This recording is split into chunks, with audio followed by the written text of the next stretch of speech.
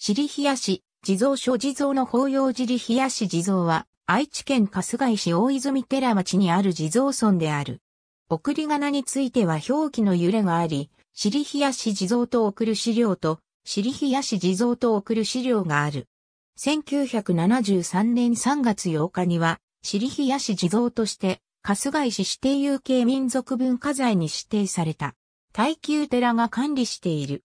春日井市のほぼ中央に位置する大泉寺町の下街道沿いにあり、毎月24日には管理者である玉物温山無料ことぶき院耐久寺の住職による法要が行われ、男信徒などが多数訪れて花を手向ける。1月24日は初地蔵、8月24日は地蔵盆にあたる。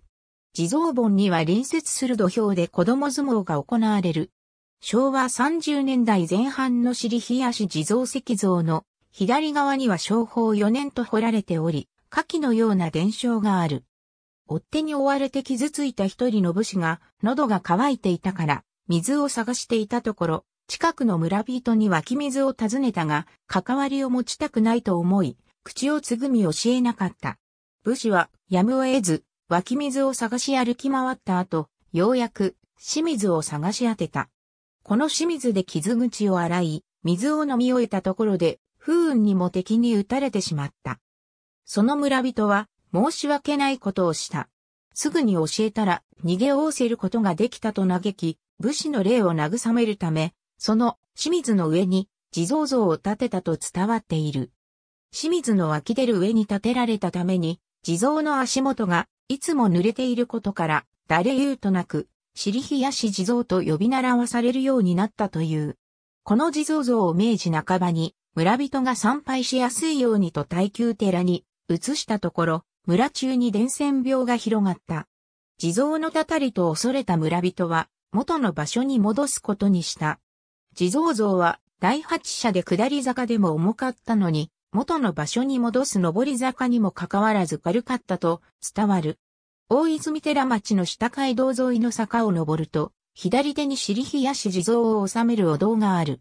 昭法4年、清水の湧き出る、この地に村人が地蔵を設置したとされる。春日井市で最も古い地蔵であるとされる。高さは1.5メートル。地蔵の左右には、為小白長年団定門なり、昭法4定外年下月20日の国名がある。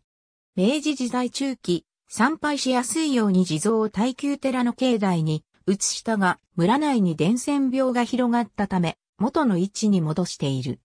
かつては、大石の下に清水が湧き出ており、常に地蔵像の足元が濡れていたことから、尻冷やしという名称がついた。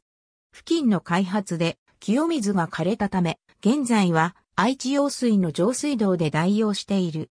1973年3月8日には、尻冷やし地蔵の名称で、加街道の古井戸とともに、春日井市指定有形民族文化財に指定された。鉄骨とコンクリートと作られた地蔵を収めた約20平方メートルのリアがある。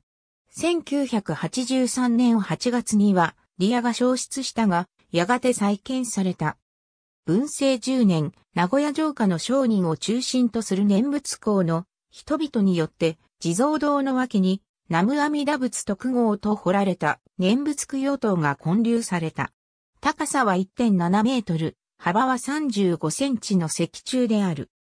尻冷やし地蔵の西側には2基の馬頭観音があり、その片方には右小巻、左坂下と刻まれている。戦前には供養の日に隣接する広場で相撲大会が行われていた。子供相撲は途絶えていた時期があったが、近年に復活し、地蔵村の命日である8月24日に相撲大会が催されている。かつては大人も参加していた。ある時、塩見坂の下街道沿いで敵討ちがあった。刀傷を負った武士は死ぬ前に一口水が飲みたいと手を伸ばしたが、そのまま死んだ。村人は、せめて一口でも飲ませたかったと、この武士を弔うため、湧き水のところに地蔵を建てた。尾張国の廃人、横井あゆが加街道を旅した時、大泉寺を過ぎると、大石の下から綺麗な清水が湧き出ている地蔵様の前を通った。横井は、尻冷やし地蔵はここに、いつまでも尻焼けざるの心では、なしと強化を一種残している。ありがとうございます。